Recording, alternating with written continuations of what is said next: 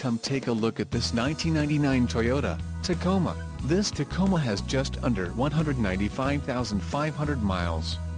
For your protection, a warranty is available for this vehicle. This vehicle gets 19 miles per gallon in the city, and 23 on the highway. This Tacoma boasts a 3.4-liter engine, and has a 4-speed automatic transmission.